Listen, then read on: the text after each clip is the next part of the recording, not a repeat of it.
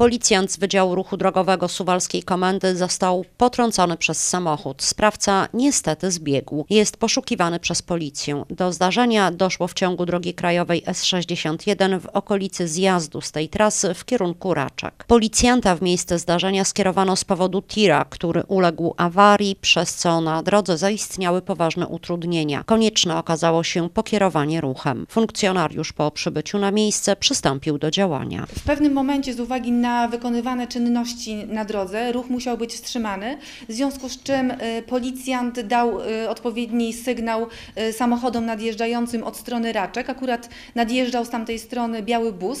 Niestety kierujący tym busem zignorował sygnał policjanta i jechał dalej. Całe szczęście mundurowy zdążył odskoczyć. Niestety z uwagi na śliską nawierzchnię przewrócił się i bus najechał na jego prawą stopę. Auto odjechało, policjant z obrażeniami trafił do szpitala.